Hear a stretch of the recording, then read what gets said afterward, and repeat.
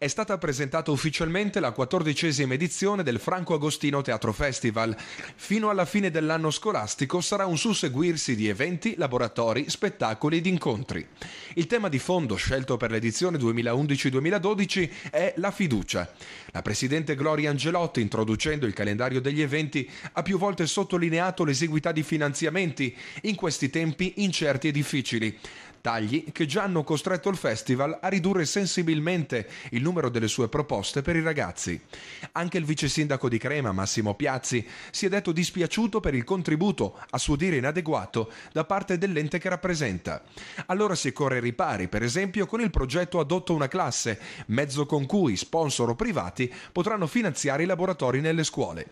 Umberto Cabini, presidente della Fondazione Teatro San Domenico, ha confermato il suo sostegno, mettendo a disposizione la sua struttura per gli eventi più importanti del festival. Lo spettacolo di debutto della quattordicesima edizione sarà proprio ospitato dal Teatro Cittadino. Si tratta di Cubo di Nicola Cazzalini, in scena domenica 23 ottobre. I laboratori verranno avviati nelle scuole ma anche in alcuni oratori cittadini e proporranno oltre al teatro, ritmo, giocolerie e maschere anche corsi di comunicazione e scrittura giornalistica. Infine, il Franco Agostino Teatro Festival si conferma un progetto che supera i confini, in Italia e in Europa.